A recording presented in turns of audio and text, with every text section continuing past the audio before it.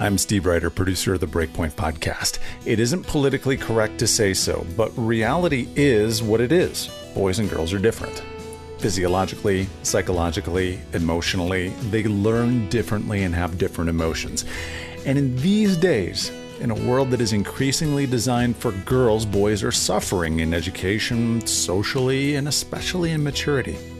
Today on the Breakpoint podcast, Warren Cole Smith interviews Mark Hancock, founder of Trail Life USA, a Christian organization whose mission it is to guide generations of courageous young men to honor God, lead with integrity, serve others, and experience outdoor adventure. Here are Warren Cole Smith and Mark Hancock.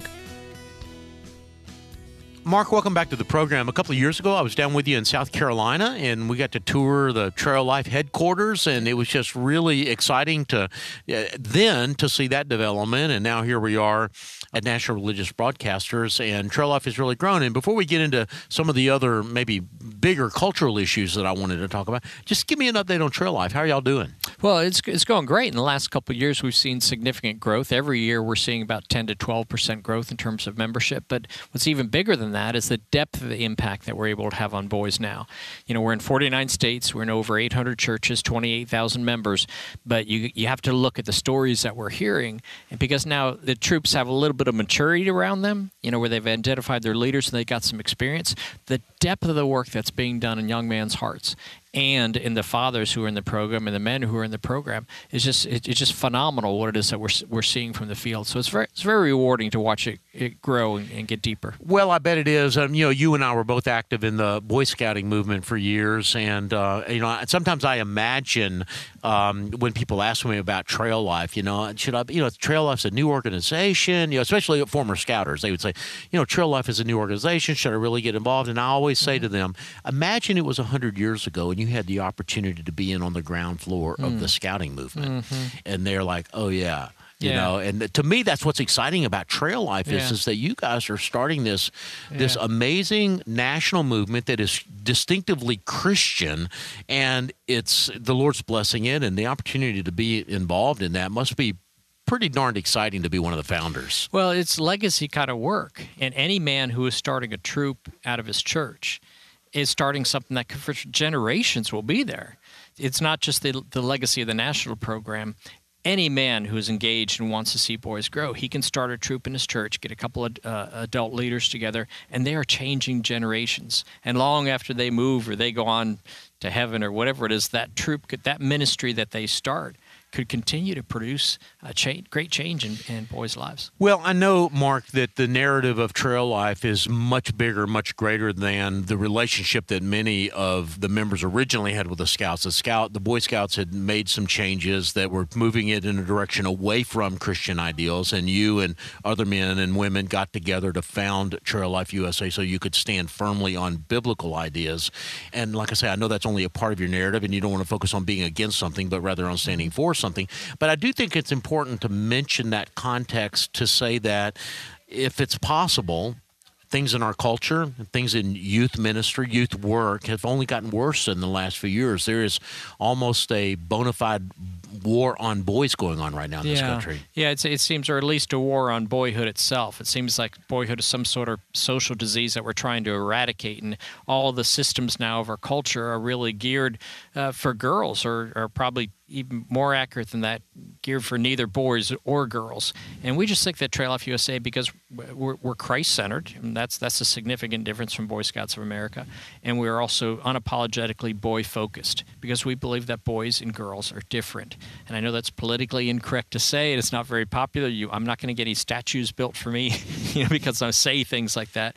But boys and girls are different, and and, and with society running in in the direction opposite of, of that, to take away the significance of being a boy and the significance of being a girl and incredible strengths and and and plans and skills and and abilities that boys and girls separately have. To take that away from them, we think is a sad thing. So you're right, and in every day it seems to get get uh, worse and worse. Well, if we could summarize that sort of pathology in, in our culture as the war against boyhood, your part of your solution for that is Trail Life USA, of course, but but the idea of just letting boys be boys, but letting boys be boys in the context of of Christian leadership and Christian mentorship. Mm-hmm. And you, you've written a, a, booklet about that idea of letting boys be boys, and you've identified a few strategies to help bring that about. Can you say a little more about that? Sure. It's called Let Boys Be Boys, and, and I actually wrote this for our troop leaders, and then I realized that it really speaks to a larger audience than that because there are there are men and women who are leading groups of boys, maybe their Sunday school class or some sort of community program or something like that, and that these these same ideas, because they are are core to who we are as as humans, uh, will really function in any organization. So I wrote the book in order to speak to people who are leaders of boys. And so the subtopic is is three winning strategy for leaders of boys. And uh, so we lay out those strategies from 30,000 foot level, and then we get down to the nitty gritty and says, here's what you can actually do to make it make a difference in a boy's life. Well, uh, we don't obviously. If people want to know, they can read the book. But uh, just, uh, can you give us some headlines? What are those three strategies? Sure. Well, the first thing is we need to embrace the scientific evidence of physical and psychological differences in boys and girls. You know, like I said, it's politically incorrect to say that, but there are actual physical and biological differences between boys and girls that go beyond just the obvious. You know, the, the way that their eyes are constructed. Boys and girls' eyes are, are constructed different so that boys are more sensitive to motion and, and, at a distance. And girls are more sensitive to things up close. And so you put a boy in a classroom and you put a sheet, a worksheet in front of him as a young boy, and you tell him we're gonna, we're going to color now. I mean, you might as well just be beating him with a stick. He just doesn't want to do it. He isn't wired for that. So that begins to look like a boy who has an educational problem. And boys are two times more likely to uh, be put into special education, three times more likely to be declared ADHD. And some of it is because these these these physical differences boys and girls. Another one is the way that they hear. Girls, young girls can hear ten times better than young boys. And so if you've got a soft-spoken teacher and you're in a classroom uh, and that, that boy can't stay focused because he isn't catching every word, well, he looks a lot like a kid with ADHD because he just isn't, he's not engaged with what's going on there. He looks uninterested or he, he's going to get into trouble just because of that physical difference because we're not addressing that. We're pretending like there isn't a difference there.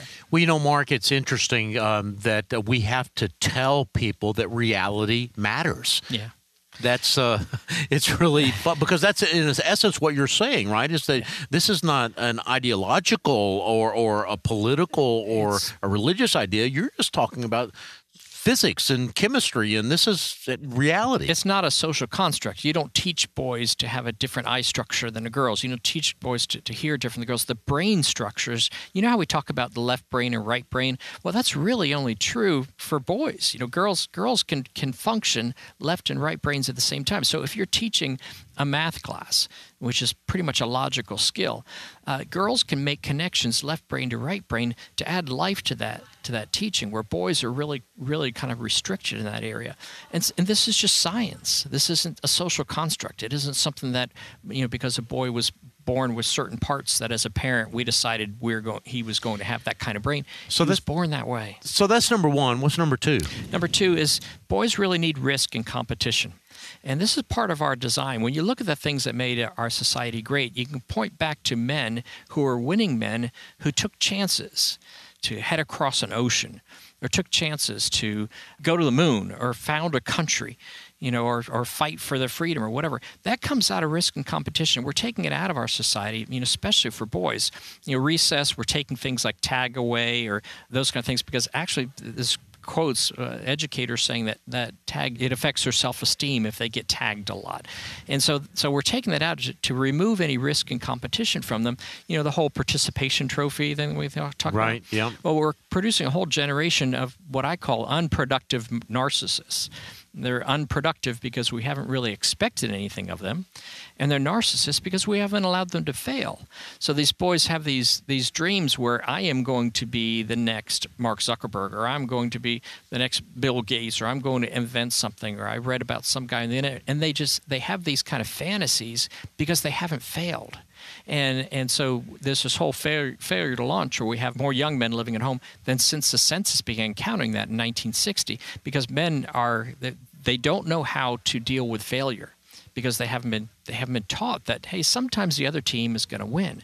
So you put a boy in a court you put a boy in a competition you put a boy in a, in a in a, in a classroom and you take away those elements of risk and you say everyone's going to get a trophy. Well the boy's like ah, really you know, I can work really hard and I'm going to get the same thing everybody else does. So what happens is we drive them to that inside world where they can progress, where they can win, where they get uh, points and levels and gain things, and that's the video game world. Yeah. So they they they intuitively know that they've got to go somewhere to get better at something and to win and compete. So we drive them to video games and then we criticize them for playing so many video games. So boys can't even win for winning. So they, they just they just seem to lose across the whole thing. Boys are looking primarily for three things. Three questions that you want to be able to answer. One is who's with me? Who's in charge? And what's our mission? And if when we're in front of boys, if we're not answering those three questions clearly, who's with me?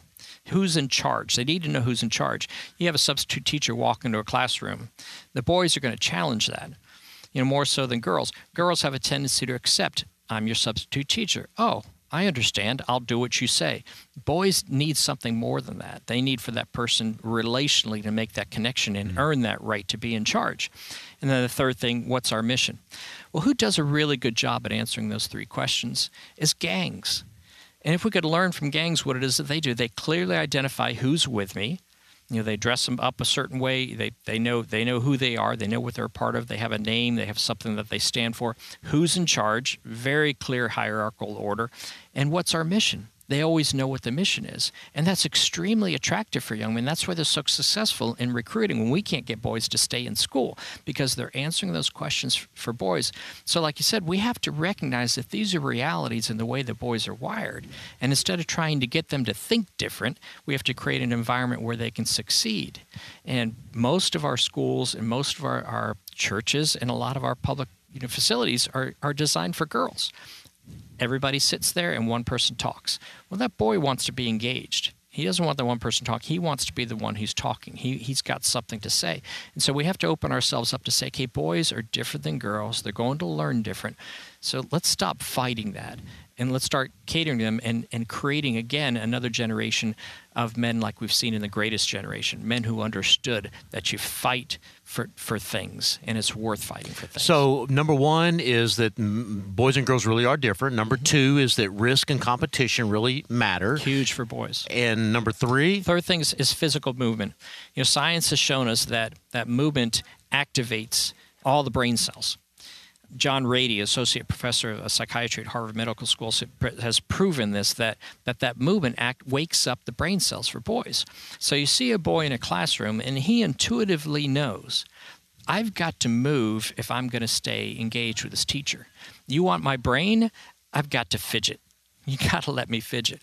Well, of course, as a teacher, as somebody in the room who's trying to establish order, you got a moving boy. Sit still, be quiet, pay attention. You're shutting his brain down. And so he's looking he's now disengaged because he can't be at, at his full at his full potential. We're taking that, that that movement away from him. So we have to recognize that boys need that. We're taking recess away. We're limiting recess. Yesterday, I was in a hotel lobby and there was a family at the next table with two boys, eight and ten years old approximately and I had Let Boys Be Boys book with me. So I walked over and I, and I set it down on the table. I said, you know, mom and dad, this this is for you. You've got two boys. I think they were getting ready to go to Disneyland. They're all dressed up, and the boys were just all over the place. I mean, they are they're ready to go. And uh, the father got up and took the sons somewhere, and the mother uh, continued to sit there at the table. And I saw she picked up the book. She started leafing through that, and she came over and she sat down at my table. She said, "I got to tell you this." She said, "My son." She said, "I've got to give this book to my son's teacher." because she won't let him move. And for his punishment, they took recess away from him. And she says, I know that that makes it even harder for him. And so we're, we're, we're making it more difficult by taking away the things that they need in order in order to learn and it's it's it's tragic and it's creating this generation of boys they are behind girls in every single academic category every single one of them in the 1960s I believe it was 60% of college students were boys, 40% were girls. That's completely flipped now. There are more girls graduating with bachelor's degrees, more girls graduating with master's degrees, more girls graduating with, with doctoral degrees than boys. And in every single measurable category, girls are leading, leading boys academically because we've designed schools schools for them. Well, uh, Mark, to bring us back full circle, that's what y'all are trying to do at Trail Life, right? I mean, you guys are trying to create an environment where boys can be boys and they can develop uh, intellectually, spiritually, and emotionally into yeah. men. Yeah, every single one of those strategies we we we endeavor to work in our Trail Life Troop meetings. If you walk in a Trail Life Troop meeting, hopefully it doesn't look like a Sunday school or classroom. We encourage the leaders get the chairs out of the room stack them all up against the wall. Throw a bunch of Legos or something on the ground while you're working, while you're teaching the boys. Let them work with their hands. Let them stay physically involved with something. And they're listening to you. They may not look like they're listening to you, but they, they catch things by osmosis. They don't catch things by focus. So you've got to give them an environment that looks different than the environment they're already failing in in other places. You know, Ward, one of the saddest quotes that I read is right after the Boy Scouts admitted girls. I saw a quote in a newspaper article when they interviewed a, a scoutmaster, and he said, We love having girls in our troop. They're so much smarter and better behaved. Mm. And I thought, those poor boys, you know, uh, they're in school all day and that's what they hear. Why can't you sit still like Sally? And now they're going to their Boy Scout meeting and being told, and you know, they're being told the same thing there. Why can't why can't you sit still? Look at the girls. Look how well behaved the girls are being. Well, the boys are learning over and again. I don't fit here. I, I, there's something wrong with me, and it's tragic what it, what it's causing in boys today.